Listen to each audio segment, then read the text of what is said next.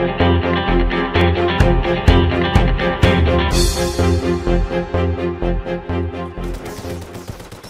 guys, it's Mr. the Epic Ninja here, back with a 1.2.4 guide on bee wax, which is a drop from the queen bee.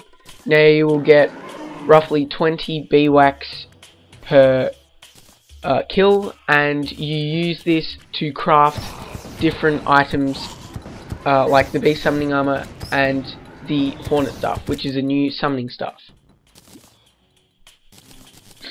The Hornet Staff costs 14 wax, has 9 summon damage, and you can summon a Hornet to fight for you. The Bee Headgear costs 8 wax and gives you 4 defense.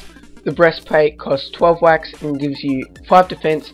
And the Greaves cost 10 wax and give you 4 defense. This is a summoning armor set so it increases your max number of minions and has low defense because it is available pre-hard mode. I hope this guide helped you guys. If it has, please subscribe, please leave a like, please comment, and I will see you all next time.